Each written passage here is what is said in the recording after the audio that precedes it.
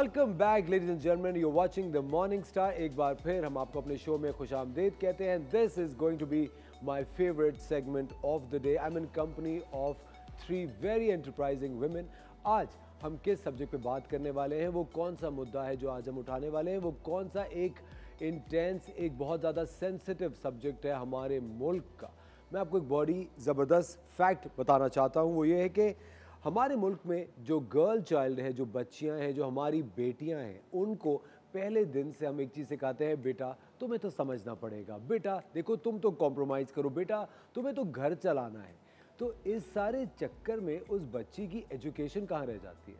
अरे बेटा, आप अपनी बेटी को पढ़ा रहे अरे, इसको तो घरदारी से कहें, अरे, ये डिग्री करिए। इसको नहारी और पाया बनाना तो अभी तक नहीं आया। हम आज तक इन 2022 इन बातों में, इन प्रॉब्लम्स में क्यों फंसे हुए हैं?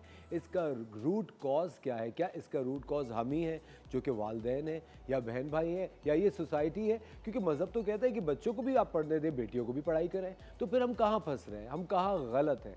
मेरे साथ आज हाँ एक फैक्ट मैं आपको पहले बताना चाहता हूँ the female literacy rate in Pakistan is just 48 percent पचास फ़ीसद भी नहीं है, पचास फ़ीसद से भी दो परसेंट कम है फीमेल लिटरेसी रेट हमारे मुल्क में जो खातन है वो सिर्फ़ 48 परसेंट तालीम याफ्ता हैं और जो मर्द हजरात हैं वो 70 फ़ीसद तालीम याफ्ता हैं. And in an estimated 60 million people सोचे 60 million people are illiterate in 2021 ये पिछले साल का सर्वे है कि 60 मिलियन लोग 2021 में हमारे मुल्क में अनपढ़ रह गए हैं। इसकी क्या वजह है? I am in company of three very enterprising very impressive women मैं सबसे पहले इंट्रोड्यूस कराना चाहूँगा मेरी बहुत ही अच्छी दोस्त डॉक्टर नुजरत खान साहबा को। अलैक्म doctor Nusrat welcome to the show doctor Nusrat is basically the director general of institute national institute of oceanography welcome to the show ma'am उनके साथ तशरीफ़ फरमा है the very respected Afsha Razzaq साहिबा। Hello ma'am good morning welcome to the show Afshar Razak Sahaba, over 25 years of experience in the field of education, developing and implementing education programs for disadvantaged groups. और उनके साथ साथ है the very good looking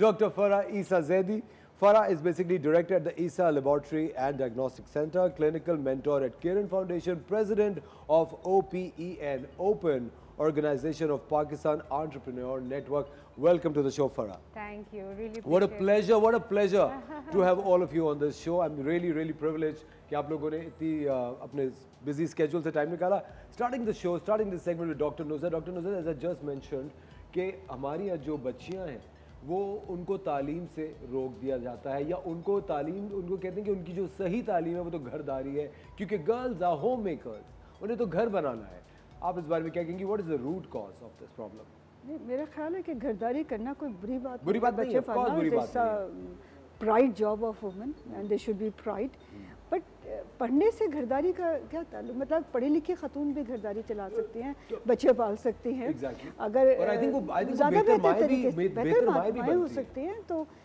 ये कहना कि जो घरदारी चलाने वाली खातन जो हैं वो पढ़ी लिखी नहीं होनी चाहिए। रॉन्ग आपको शायद याद होगा हम लास्ट वीक जिन ऑनटोपिनो किस्म की पावरफुल खातून से मिले थे। और हमने उसमें आईटी से रिलेटेड खातन को बुलाया था। They are doing very well Zainab को हमने दावत दी थी और जो शाजिया थी उनकी 28 इयर्स ऑफ़ मैरिज एंड 27 चार बच्चे इन्होंने पाले and they are she is good in in her profession similarly हमारे साथ मुरीजा बट आई थी and she is one chartered accountant and heading an organise सीधा partner of K P M G तो किसने कहा कि पढ़ी लिखी खातन घर नहीं संभाल सकती? एक तो ये कि वैसे ही लिटरेसी रेट बहुत कम है बहुत कम पढ़े लिखे मर्द और ख़वान हैं। उसके साथ साथ जो हमारे एजुकेशन सेक्टर का स्पेशली प्राइमरी एजुकेशन सेक्टर का और जो पब्लिक सेक्टर स्कूल कॉलेजेस है उनका जो हाल है क्या हम अपने बच्चों को आने वाले साइंस के लिए तैयार कर रहे हैं? क्या आने वाला जो साइंटिफिक एरा होगा क्या हम उनकी सीडलिंग कर रहे हैं? तो ये सवाल कुछ आज मेरा ख्याल है हम डिस्कस करेंगे और बात करेंगे। बिल्कुल सही बात है।